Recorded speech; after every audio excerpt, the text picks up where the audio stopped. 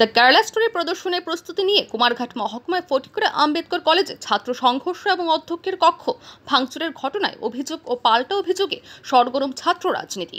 একের পর এক সাংবাদিক সম্মেলনের মধ্য দিয়ে একে অপরের ঘাড়ে দায় চাপাতে চাইছে এসএফআই এবং এভিবিপি সূত্রের খবর অনুযায়ী আগামী সপ্তাহে ফটিকরায় আম্বেদকর কলেজে কেরালা স্টোরি দেখানোর সিদ্ধান্ত নিয়েছিল ফটিকরায় কলেজ ইউনিট। কিন্তু পার্শ্ববর্তী কৈলাসহর কলেজের ছাত্রদের একাংশ এই বিষয়টিতে আপত্তি জানিয়ে শুক্রবার ফটিকরায় কলেজে ডেপুটেশন দিতে গেলে দুই কলেজের ছাত্রদের মধ্যে বাক বিতণ্ডা শুরু হয়, পরে তা গড়ায় মারধরের দিকে।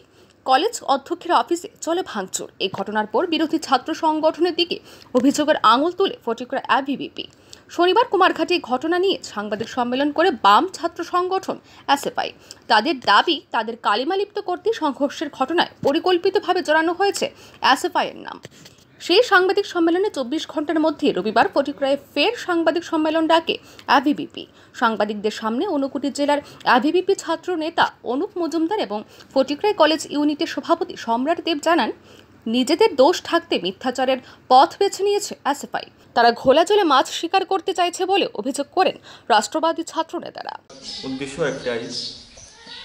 গতকাল রাত্রে যখন আমি ঘুমাতে গিয়েছিলাম তখন মোবাইল দেখছিলাম, একটা জিনিস লক্ষ্য করি যে ওই এসএফআই না কি জানি একটা ছাত্র সংগঠন ওরা একটা প্রেস কনফারেন্স করেছিল বোধহয় তো ওরা প্রেস কনফারেন্স করে বলেছিল যে ওই দিনের যে ঘটনাটি হয়েছিল, ওটা নাকি আমরা ফটিকরাই কলেজের এবিপি ছাত্র সংগঠন এবং কৈলাসর কলেজের এবিপি ছাত্র সংগঠনের মধ্যে হয়েছে।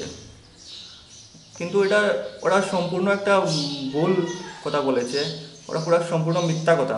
ওরা ভুল ভালো একটা গল্প মানিয়ে দিয়ে বলে দিয়েছে শেষ